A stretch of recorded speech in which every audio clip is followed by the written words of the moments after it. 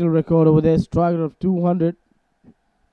I think today he just needs to show beyond that strike rate. That's a bouncer. Gus not happy about that. And that's why you wear a helmet. I guess if you don't wear a helmet, you're inviting a ball like that.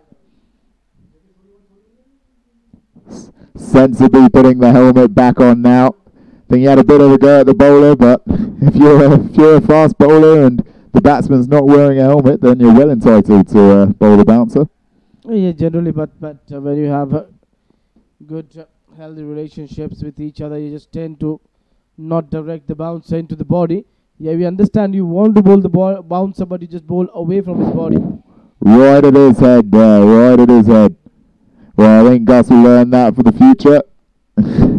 And that is where the umpire might have also told, okay, you wanted to bowl the bouncer, just keep it away.